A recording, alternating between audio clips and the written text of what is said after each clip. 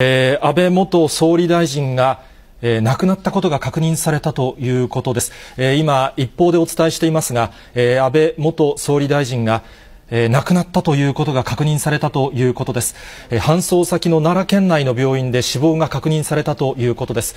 えー、安倍元総理大臣が銃撃を受けまして、ドクターヘリによりまして、奈良県内の病院に搬送されました。搬送されましたが、搬送先の病院で死亡が確認されたということです。搬送先の奈良県立医大病院で死亡が確認されたということです。現在5時47分を指しているところですが、今入ってきた情報ですが、安倍元総理大臣が搬送先の病院で死亡が確認されたということです。え、安倍元総理大臣は奈良県で選挙応援の演説中、安倍元総理大臣、え、銃で撃たれまして、心肺停止の状態が続いていました。しかし、今ですね、入ってきた情報によりますと、死亡が確認されたということです。